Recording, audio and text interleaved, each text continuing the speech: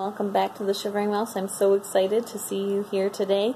And today we're going to continue our journey through the Chronicles of Narnia. Today we're starting Prince Caspian, which is the next book in the series, and it's a bit more of a familiar one. It's been made into movies a little more than um, most of the others, the obviously the most common one being The Lion, the Witch, and the Wardrobe. But Prince Caspian is probably one of the next most adapted ones, so it'll probably be a lot more familiar to you than The Magician's Nephew or The Horse and His Boy, but I think those two books give you a lot more context. Caspian takes place um, about a year after the events of The Lion, the Witch, and the Wardrobe in English time, and it kind of continues the journey of our four main characters Peter, Susan, Edmund, and Lucy. And so it's nice to see kind of what their further adventures in Narnia would be. So this is more of a true sequel to The Lion, the Witch, and the Wardrobe than The Horse and His Boy is because that's just kind of one of the adventures that takes place during the reign of the Pevensies, whereas this is afterwards. So it's pretty interesting and it gives you more, um, kind of more information on what it would be like to be someone who had lived two lifetimes in two different worlds and how it changes how they view not only their own world, but how they view Narnia now that they're a year older, and now that they've been kind of immersed back into their own culture for a little bit. So without further ado, C.S. Lewis's Prince Caspian, Chapter 1, The Island. Once there were four children whose names were Peter, Susan, Edmund, and Lucy, and it has been told in another book called The Lion, the Witch, and the Wardrobe how they had a remarkable adventure. They had opened the door to a magic wardrobe and found themselves in quite a different world from ours, and that different world sorry, and in that different world they became kings and queens in a country called Narnia. While they were in Narnia, they seemed to reign for years and years, but when they came back, though the door when they came back through the door and found themselves in England again, it all seemed to have taken no time at all. At any rate, no one noticed that they had ever been away, and they never told anyone except for one very wise grown up. That had all happened a year ago, and now all four of them were sitting on a seat in a railway station with trunks and play boxes piled up around them. They were, in fact, on their way back to school. They had traveled together as far as this station, which was a junction, and here, in a few minutes, one train would arrive to take the girls away to one school, and about a half an hour later another train would arrive and take the boys off to go to another school. The first part of the journey, when they were all together, always seemed to be like part of the holidays, but now that they would be saying goodbye and going in different ways so soon, everyone felt that the holidays were really over and that their term time feeling was beginning again, and they were all rather gloomy, and no one could think of anything to say. Lucy was going to boarding school for the first time. It was an empty, sleepy country station, and there was hardly anyone on the platform except for themselves. Suddenly Lucy gave a sharp little cry, like someone who has been stung by a wasp. What's up, Lou? said Edmund, and then suddenly he broke off and made a noise like, Ow! What on earth? began Peter, but then he too suddenly changed what he had been going to say, and instead he said, Susan, let go! What are you doing? Where are you dragging me to? I'm not touching you, said Susan. Someone is pulling me. Oh, oh, stop it! Everyone noticed that all of the others' faces had gone very white. I felt just the same, said Edmund in a breathless voice, as if I were being dragged along, a most frightful pulling. Ugh, it's beginning again. Me too, said Lucy. Oh, I can't bear it. Look sharp, shouted Edmund. All catch hands and keep together. This is magic. I can tell by the feeling. Yes, said Susan. Hold hands. Oh, I do wish it would stop. Oh! The next moment, the luggage, the seat, the platform, and the station had all completely vanished. The four children, holding hands and panting, found themselves standing in a woody place, such a woody place that branches were sticking into them here and there, and there was hardly room to move. They all rubbed their eyes and took a deep breath. Oh, Peter! exclaimed Lucy. Do you think we could have possibly got back to Narnia? It might be anywhere, said Peter. I can't see a yard in all these trees. Let's try to get into the open, if there is any open. With some difficulty, and with some stings from nettles and pricks from thorns, they struggled out of the thicket. Then they had another surprise. Everything became much brighter, and after a few steps they found themselves at the edge of the wood, looking down on a sandy beach. A few yards away, a very calm sea was falling on the land with such tiny ripples that it made hardly any sound. There was no land in sight, no clouds in the sky. The sun was right about where it ought to be at about ten o'clock in the morning, and the sea was a dazzling blue. They stood sniffing in the sea smell. By Jove, said Peter, this is good enough. Five minutes later, everyone was barefoot and wading in the cool, clear water. This is better than being in a stuffy train on the way back to Latin and French and algebra, said Edmund.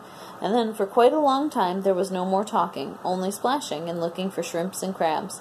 All the same, said Susan presently, I suppose we'll have to make some plans. We shall want something to eat before too long. We've got those sandwiches Mother gave us for the journey, said Edmund, or at least I've got mine. Not me, said Lucy. Mine were in my little bag. So were mine, said Susan. Mine were in my coat pocket. Mine are in my coat pocket there on the beach, said Peter, and that'll be two lunches among four. This isn't going to be much fun. At present, said Lucy, I want something to drink more than something to eat. Everyone else now felt thirsty, as one usually does when wading in salt water under the hot sun. It's like being shipwrecked, remarked Edmund. In school, in books, they always talk about finding springs of clear, fresh water on the island. We'd better go look for them. Does that mean we have to go back into all that thick wood? said Susan. Not a bit of it, said Peter. If there are streams, they're bound to come down to the sea, and if we walk along the beach, we're bound to come to them. They all now waded back and went first across the smooth, wet sand, and then up to the dry, crumbly sand that sticks to one's toes, and began putting on their shoes and socks. Edmund and Lucy wanted to leave them behind and do their exploring with bare feet, but Susan said that this would be a mad thing to do. We might never find them again, she pointed out, and we shall want them if we're still here when night comes and it begins to be cold. When they were dressed again, they went out along the shore with the sea to their left hand and the wood on their right. Except for an occasional seagull, it was a very quiet place. The wood was so thick and tangled that they could hardly see into it at all, and nothing moved, not a bird, not even an insect. Shells and seaweed and anemones or tiny crabs and rock pools are all very well, but you soon get tired of them if you're thirsty. The children's feet, after all the change from the cool water, felt hot and heavy. Susan and Lucy had raincoats to carry. Edmund had put his coat down at the station seat just before the magic overtook them, and he and Peter took in turns carrying Peter's greatcoat. Presently the shore began to curve around to the right. About a quarter of an hour later, after they crossed the rocky ridge which ran out into a point, it made a very sharp turn. Their backs were now to the part of the sea that they had met when they first came out of the wood. Now, looking ahead, they could see the water on another shore thickly wooded, just like the one they were exploring. I wonder, is that an island, or do we join it presently? said Lucy. Don't know, said Peter, and they all plodded on in silence. The shore they were walking on drew nearer and nearer to, towards the opposite shore as they came around the promontory. Prom, promontory. The children expected to find a place where the two joined, but in this way they were disappointed. They came to some rocks which they had to climb from the top so that they could see far ahead, and oh bother, said Edmund, it's no good, we shan't be able to get to those other woods at all. We're on an island. It was true. At this point, the channel between them and the opposite coast was only about thirty or forty yards wide, but they could now see that this was the narrowest place. After that, their own coast bent around to the right again, and they could see the open sea between it and the mainland. It was obvious that they had already come much more than halfway around the island. Look, said Lucy suddenly, what's that? She was pointing to a long, silvery, snake-like thing that lay across the beach. A stream! A stream! shouted the others, and, as tired as they were, they lost no time in clattering down the rocks and racing to the fresh water. They knew that the stream would be better to drink farther up away from the beach, so they went at once to the spot where it came from the wood. The trees were thick as ever, but the stream made itself a deep course through the high mossy banks so that by stooping you could follow it up a sort of tunnel of leaves. They dropped on their knees by the first by the first brown dimply pool and drank and drank and dipped their faces into the water and then dipped their arms up to the elbow. Now, said Edmund, what about those sandwiches? Oh, hadn't we better save them? said Susan. We may need them far worse later on. I do wish, said Lucy, now that we're not thirsty, we could go on feeling as not hungry as we did when we were thirsty. But what about those sandwiches? repeated Edmund. There's no sense in saving them, they'll go bad. You've got to remember that it's a good deal hotter here than it was in England, and we've been carrying them about in our pockets for hours. So they got out the two packets and divided them into four portions, and nobody had quite enough, but it was a great deal better than having nothing. Then they talked about their plans for the next meal. Lucy wanted to go back to the sea to catch shrimps until someone pointed out that they didn't have any nets. Edmund said that they must gather gulls' eggs from the rocks, but when they came to think of it, they couldn't remember having seen any gulls' eggs, and it wouldn't be able to cook them anyway if they found any. Peter thought to himself that unless they had a some stroke of good luck, they would soon be glad to have the eggs raw, but he didn't see any point in saying this out loud. Susan said it was a pity that they hadn't saved the sandwiches longer, and one or two tempers nearly got lost along the way at this point. Finally, Edmund said, Look here, there's only one thing to be done.